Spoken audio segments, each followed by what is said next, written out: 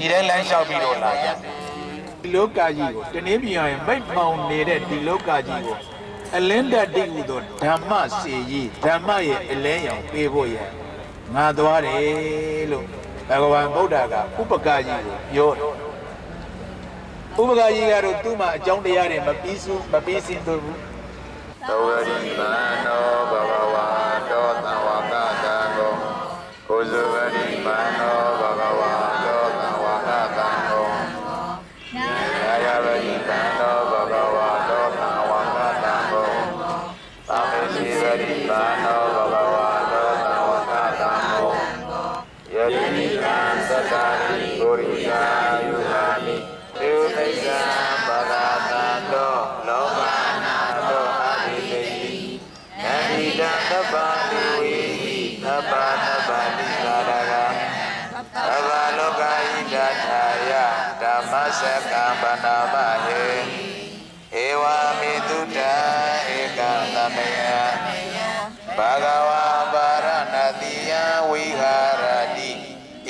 တိပဒနေမိဂရာယေကာမေတုကာမတုကုလိတနိယောကောဧနောကဘောဘုဒ္ဓဇနိကောအနာရိယောအနတ္တသံဟိတောယောဇာယံ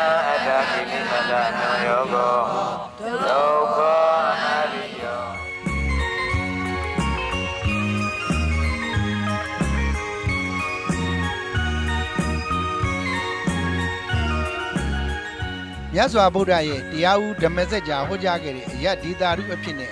နှောင်းလူတို့တိမှတ်ဖို့အတွက်အာသောကမင်းက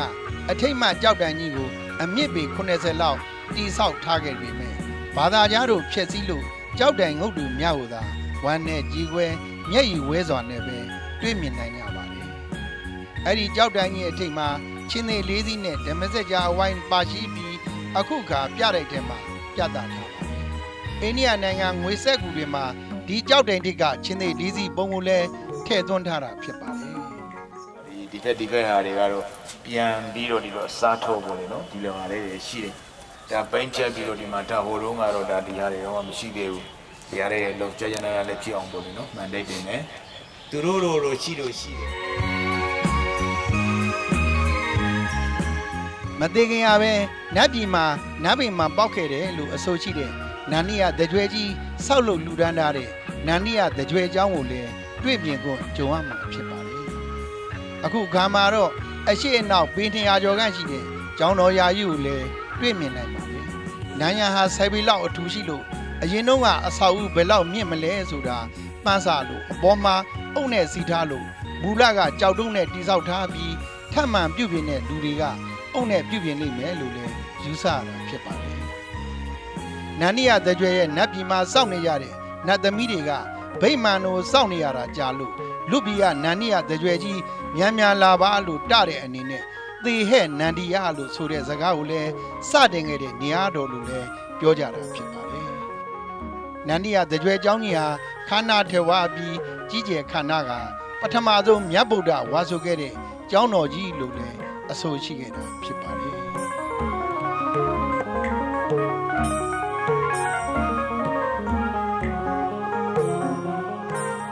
မြဝရကိုကနာတိုးဆုံးကတ်လူခဲ့တဲ့သူဇာတာတထေးသမီးဟာဗာရန်တီမြို့မှာနေထိုင်စဉ်သူသားယတ္တသူတို့သားဟာလောကီအာယုံကာမဂုဏ်တွေကိုညှိငွေပြီးညလမ်းလျှောက်ထွက်တဲ့အခါ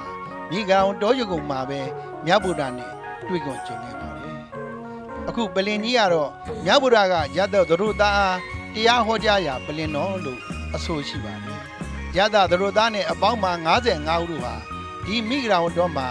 ရဟန္တာများဖြစ်ခဲ့ကြပြီးပြည်စဝဲကြီး9ဦးနဲ့စုစုပေါင်းရဟန္တာအပါ60တို့တန်ဃာယရနာစတင်ဖြစ်ပေါ်ခဲ့တဲ့မြတ်ဒေတာကြီးလည်းဖြစ်ပါတယ်သူကနေဘဝပရာပါရမီရှိတယ်တခုတို့ဘဝမှာတဲ့ကိုကျူသူတို့လိုကိုနာရေးတွေကိုဂုံရင်တယ်တောင်းလေးတစ်ယောက်ပို့လေနော်နာရေးတွေဂုံရင်တယ်ဆိုတော့မနေ့ကနေဘာရဏတိကံကမြင့်မတွေ့ခဲ့တယ်မလားအဲ့လိုမင်းချိုးတာထင်းနေတယ် အဲ့လိုတင်းနေတဲ့မြင်ရတဲ့အချိန်မှာကြာတော့သူ့ရဲ့ချစ်သူပို့လေနော်ကောင်းလေးအမှန်တမ်းရှိရတဲ့ဒီကလေးမလေးကခက်ဆွလို့လေပြေးသွားတယ်ပြေးသွားတဲ့အချိန်မှာထင်းမောင်ကြီးဘုံမှာတင်းမင်းချိုးတယ်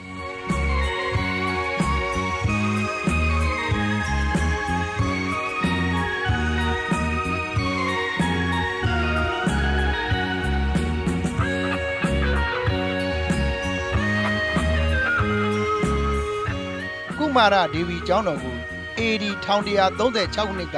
တည်ဆောက်ခဲ့ပါတယ်1194ခုနှစ်မှာဖျက်ဆီးခံခဲ့ရပါတယ်ကုမာရဒေဝီရဲ့ကျောင်းအနီးမှာဖိုးတော့ကဘဲကူလီတွေဟာမိကတမရာမြစ်ကိုရေချိုးဆင်းတဲ့အခါအရှက်အကြောက်လုံညုံမှုမြေအောက်ကနေအုတ်ကာထားတဲ့လှိုင်လန်းကနေသွားခဲ့တဲ့နေရာတော့ကုမာရဒေဝီရေချိုးစိတ်ပဲဖြစ်ပါတယ်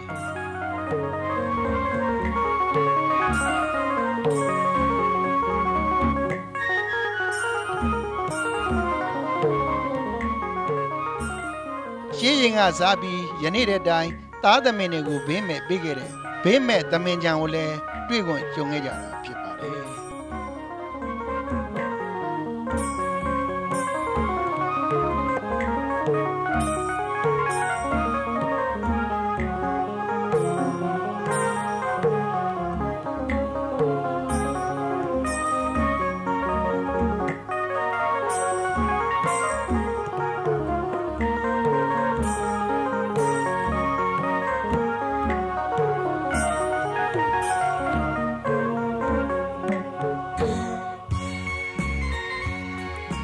မ္မိကဆိုတာဟာဓမ္မိကဓမ္မမဟုတ်ဓမ္မမုခလို့ဆိုတဲ့ပါဠိပုတ်ကနေရွေရောလာတာဖြစ်ပါတယ်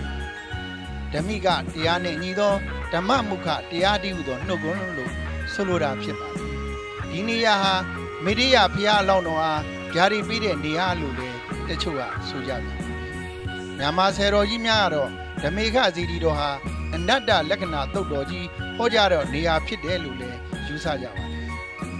ဓမ္မရာဇိကဇီတော်နေရာဟာဓမ္မစကြာတုတ်တော်ကိုဟောကြားတဲ့နေရာဖြစ်ပြီးအခုဓမေခဇီတီတော်မှာတော့အနတ္တလက္ခဏာတုတ်တော်ကိုဟောကြားတဲ့နေရာဖြစ်ပါတယ်ဓမေခဇီတော်ကြီးဟာညာတော်104ပြီမြင့်ပြီးတမိုင်ပတ်လျာနေကောင်းစွာမြင်နိုင်ပါတယ်ဇီတော်ပတ်လည်မှာရှိတဲ့ပန်းကတိဟာဆွာစတိကလို့ခေါ်တဲ့စက်ကြားပုံတွေကိုလည်းထုလုပ်ထားခြင်းဖြစ်ပါတယ်ကြာပန်းကုန်းတွေကိုအပေါ်နဲ့အောက်ခြံရံထုထုထားပါတယ် ဇီတော်ကြီးရဲ့အရက်လေးမျက်နှာမှာလှိုင်မုတ်ငယ်လင်းပြရှိပြီးအဲ့ဒီလှိုင်မုတ်တွေအတွက်မှာတော့ရှေးခေတ်တုန်းကရွှေစင်းတူတွေရှိခဲ့တယ်လို့ကိုရင်ဆန်ကဖော်ပြခဲ့ပါတယ်မြဝရကိုရောမြတ်ကြီးဟာကိုတင်ညဝဘဗတ္တိယမာနံအတ္တဇီဆိုတဲ့ပြင်စဝက်ကြီးတို့ကိုဓမ္မစကြာတရားတော်ကြီးကိုဟောကြားတော်မူလို့သောတာပန်ဖြစ်ခဲ့ကြပြီးတဲ့နောက်ငါးရံပြောင်နေ့မှာဒီဓမ္မေခဇီတော်နေရာမှာပဲအနတ္တလက္ခဏာသုတ်တံကို ဟောကြားမိတ်ချူကြတဲ့အတွက်ငါးဦးလုံးယဟန္တာများဖြစ်ခဲ့ကြတာဖြစ်ပါတယ်ချစ်သားအနန္နာဤမိဂရာဝန်သားမျိုးစုံသောယကုံတော်ကမြတ်စွာဘုရားကိုရောမြတ်ကြီးသည်အမြတ်ဆုံးသောတရားတော်ဓမ္မစက်ကိုဟောမြတ်လဲစီတော်မူသောဌာနပါတကားဟုကြံစီစဉ်းစားကသရတရားနှင့်ပြည့်စုံသော အမျိုးကောင်းသားအမျိုးကောင်းသမီးတို့ဖို့တန်ဝေကယူစရာတန်ဝေကပွားစရာတန်ဝေဇနိယတဌာနရဲ့လို့ မြတ်စွာဘုရားဟောကြားခဲ့တာဖြစ်ပါလေ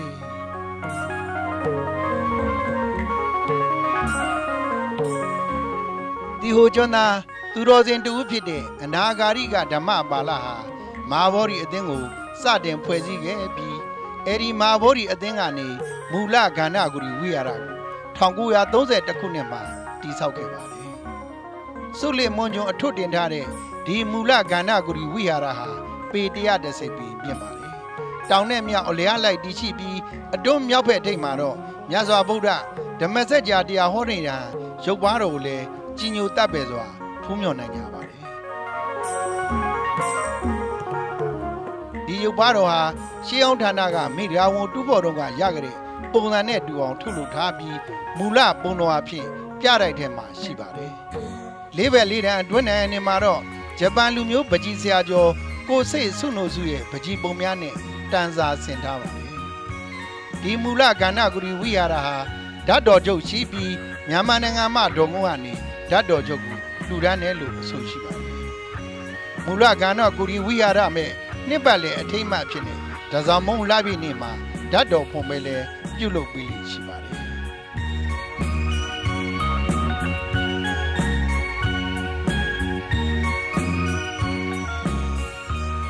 လကဏ္ဍဂုရီဝိဟာရအနီးမှာမြန်မာနိုင်ငံကအလူရှင်တွေလူဒန်းထားတဲ့မြန်မာပုံလက်ရာ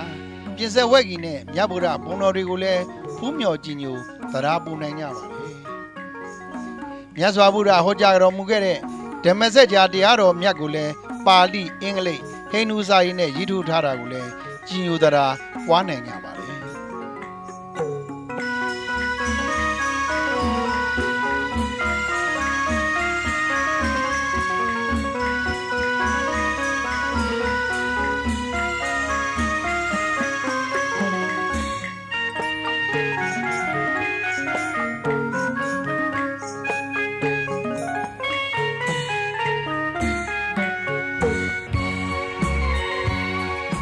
မြတ်စွာဘုရားကိုရောမြတ်ကြီးဟာ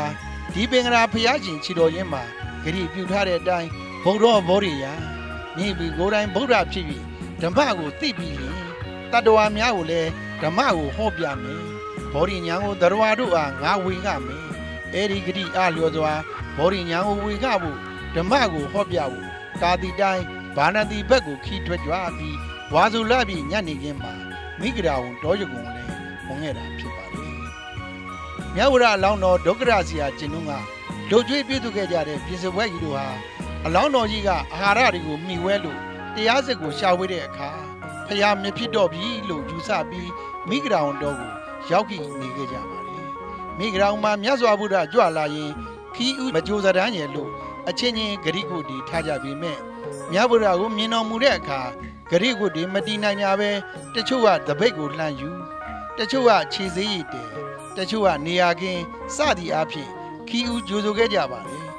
အဲ့ဒီနေရာကိုတော့6ကန်တိဇေဒီလို့ခေါ်ဆိုခဲ့ကြပါတယ်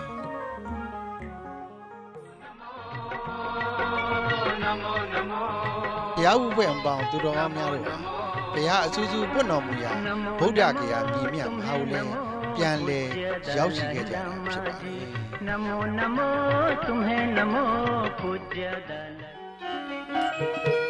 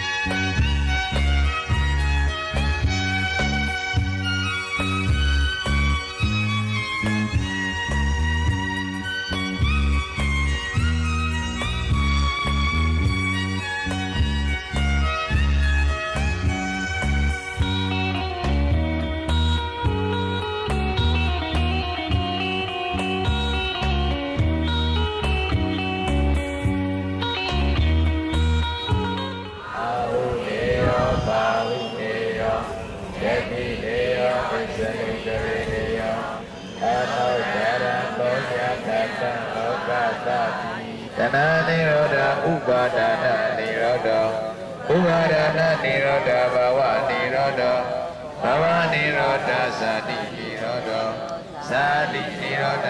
ဇရမရဏသောကပရိဒေဝဘုရားမူလာခဲယူလောခေသော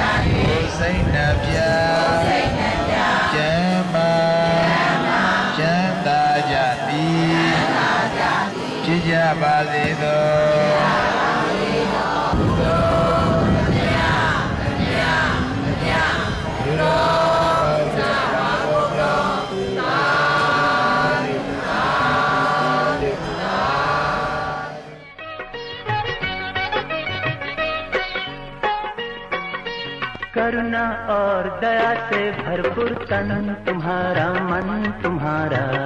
तुम्हारा मन तुम्हारा अपना पराया कोई नहीं है, सारा जग परिवार तुम्हारा। सारा जग परिवार तुम्हारा ओ,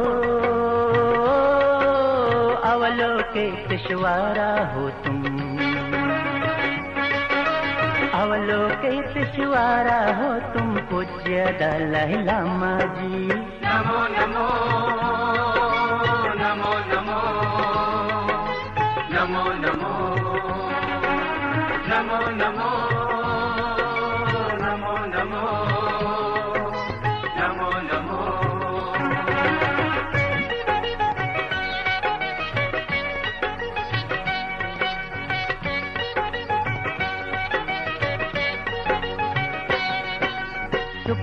तुम हो दुख में तुम हो तुम ही तुम हो बस हमारे। तुम ही तुम हो बस हमारे। जब तक नैया पार न होगी हाथ न छोड़ो तुम हमारे। हाथ न छोड़ो तुम हमारे। ओ एक हमारे माझी हो तुम। एक हमारे माझी हो तुम पूज्य दलाई लामा जी नमो